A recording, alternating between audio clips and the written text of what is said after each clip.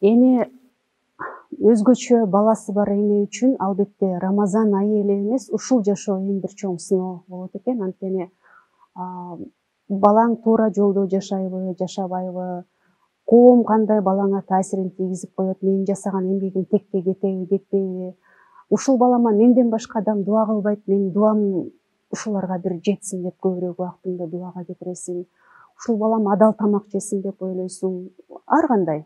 Эненин түйшүгү чындыгында абдан көп э, ата балким баягы эшиктен акчасын алып келип берип койгону болбосо эненин түйшүгү чындыгында көп болот экен. Анткени эне бир университет дейт го үйдө эне бир университет анан баягы бешикти терметип аткан эне ааламды терметип атканын сезиш керек дейт. Анткени ошол эне кандай баланы тарбиялап чыккандыгынан коомдун эртең көз карандыгы болот экен чындыгында.